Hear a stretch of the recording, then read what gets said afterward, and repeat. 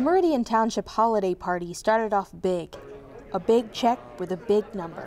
It's the Meridian Township Employees Party, but it's really a celebration for Meridian Cares, which is a new campaign which was started this year. Originally slated as an employee holiday celebration, the party idea evolved into a fundraising campaign for the Emergency Needs Fund. Let's dedicate our party into a giving party. Let's give back to the community. Township Manager Frank Walsh, the Community Resources Commission, and several departments and employees set a goal of $3,000 to be donated to the fund, which was at an all-time low. It was a rough winter for, for utilities. All organizations seem to be down in contributions.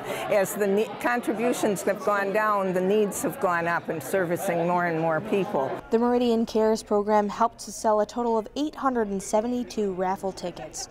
The raffle prizes were purchased and donated by several community leaders and businesses. They included gift baskets from Dusty's Cellar, Cravings Gourmet Popcorn, Biggby Coffee, and Playmakers, just to name a few. The goal was $3,000, and I thought, boy, we'll be really lucky if we make that. We made over $6,800. And so we're presenting a check for $6,883.95. And it's just amazing to me.